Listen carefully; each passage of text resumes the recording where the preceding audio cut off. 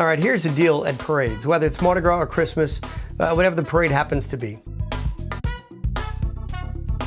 The rules are easy. You go for the high ones, or you go further back, or you stand next to an old person or a baby, because that's who gets the beads. Kids always have the most beads. I've learned that. The rules to bead catching isn't as much about throw me something, mister, as it is about eye contact.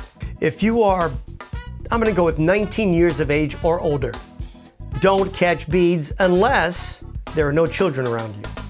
If there are children around you and the beads are thrown right to you, hand them to the ch- hand them to the children. Just give them to the kids. You know, when it comes to bead catching, the rule to bead catching is that there are no rules to bead catching. Don't get too close to the float. People get run over every year, and it's just not worth it. Not for a 25 cent pair of beads. You got to make eye contact with someone on the float and it directly, you don't even have to say anything. You just kind of look at them and it's just like, hey, right here. It's literally every man for himself.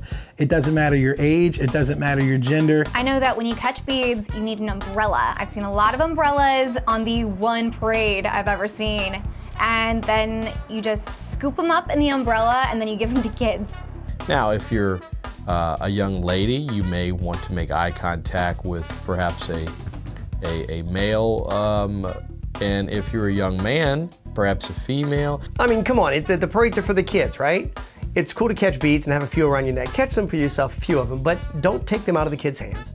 Don't lunge for them to get them from someone else. They're just beads. You'll find some on the ground later. I've seen people go toe to toe with six year olds over beads. It's that serious, you know?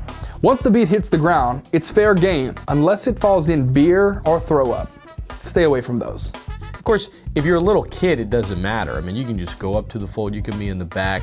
Little kids can just yell, hey, throw me some, mister. But if you're like, you know, a teenager or an adult, eye contact.